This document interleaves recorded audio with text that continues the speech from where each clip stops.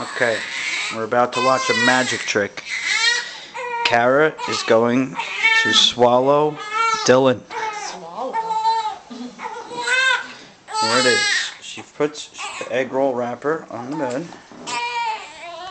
Dylan soon will stop crying once she is wrapped like an egg roll.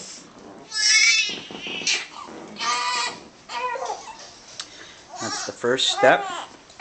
We should put this on the how-to video of swallowing your baby. There's mommy.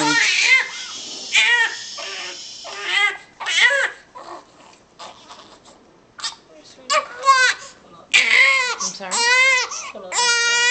Like a Romana.